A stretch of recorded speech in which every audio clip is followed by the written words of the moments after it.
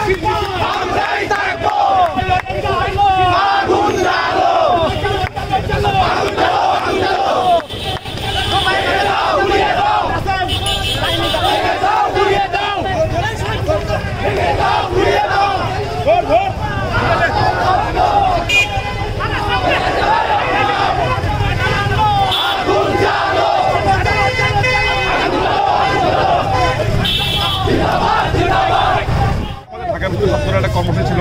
আপনারা জানেন যে আমাদের শহীদ প্রেসিডেন্ট জিয়াউর রহমানের চল্লিশতম জন্মবার্ষিক চল্লিশতম শাহাদ বার্ষিক উপলক্ষে ঢাকা বিশ্ববিদ্যালয় ছাত্রদল টিএসসি টিএসসি চত্বরে অসহায় দরিদ্র মানুষের মাঝে খাদ্য সামগ্রী বিতরণ করার কর্মসূচি নিয়েছিল।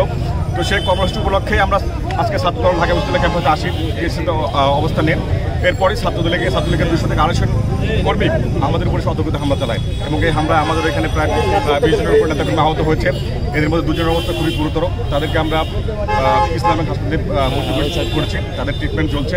তো আমরা আসলে খেয়াল করেছি যে বরাবরের মতোই এবারও ঢাকা বিশ্ববিদ্যালয় প্রশাসন অনেকটা অবহেলার সাথে এই হামলার বিষয়টি দেখছে। এর আগেও আমাদের উপর তিনবার হামলা হয়েছে তারা কোনো পদক্ষেপ নেয়নি এবং এবারও আমরা দেখছি তারা আমাদের আবেদনগুলো ভূক্ষেপ করে যাচ্ছে।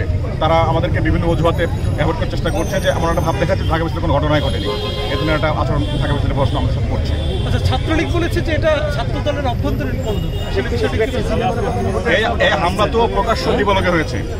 ওইখানে সাধারণ ছিল ওইখানে আপ- আপনি জানেন যে ঢাকা বিশ্ববিদ্যালয় ক্যাম্পাসে বিভিন্ন পেশার বিভিন্ন শ্রেণির মানুষ অবস্থান করে। ঢাকা বিশ্ববিদ্যালয়ের প্রাক্তন ছাত্র বর্তমান সবাই ছিল। বিষয়টা মানে একবারে পরিষ্কার যে হামলা কারা করেছে। আর ওইখানে অনেকের কাছে ভিডিও ফুটেজ আছে, এগুলো চেক করলেই পাওয়া যাবে যে কারা আসলে হামলা করেছে। তবে- আমরা আমরা আমরা যতটুকু দেখেছি যে এস এফ হলের পিকুল শেষ সহ ঢাকা মহানগর দক্ষিণ ছাত্রলীগের নেতাকর্মীরাই হামলা চালিয়েছে আমাদের উপরে। আচ্ছা আপনার হামলা চালিয়েছে, তো বিষয়টিকে যদি ক্লিয়ার করেন, আপনি কি আহত? আসলে ওইখানে আমরা যারা ছিলাম আমরা যারা ছিলাম ওরা এসে প্রথমে আমাকে বলছে যে, ভাই আপনি আপনি প্রেসিডেন্ট আপনি এখান থেকে চলে যান। তো আমি তো আমার নেতা কমিটিকে চলে যেতে পারি না। আমি যাদের সাথে কথা বলে তাদেরকে মানে নিবৃত করার চেষ্টা করছি। সেই অবস্থা তারা আমাদের ওইখানে সবার উপরে হামলা চালিয়েছে এবং এখানে যারা ছিল মোটামুটি সবাই আহত হয়েছে। আর ছাত্রলীগ অভিযোগ করেছে যে আপনারা সবাই ওখানে বহিরাগত ছিলেন। এটা আসলে কতটুকু সত্য? সবাই বিশ্ববিদ্যালয়ের ছাত্র সবার সবার আইডি কার্ড আছে। এবং ছাত্রলীগের বহিরাগত নিয়ে ছাত্রের উপর হামলা চালিয়েছে। আপনাদের কোনো কর্মসূচি আছে কিনা? আসলে আসলে আসলে আপনি জানেন যে আমাদের করোনাকালীন সময় ক্যাম্পাসও ক্যাম্পাসের কার্যক্রম বন্ধ রয়েছে। আমরা পরবর্তী আহ, করে আপনাদেরকে জানাব।